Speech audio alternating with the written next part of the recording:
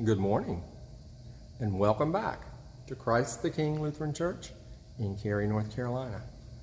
I am still Mr. Mike, Mike Harris, Minister of Traditional Music here at the church. Today, I don't have anything fancy for you. I've decided to go simple.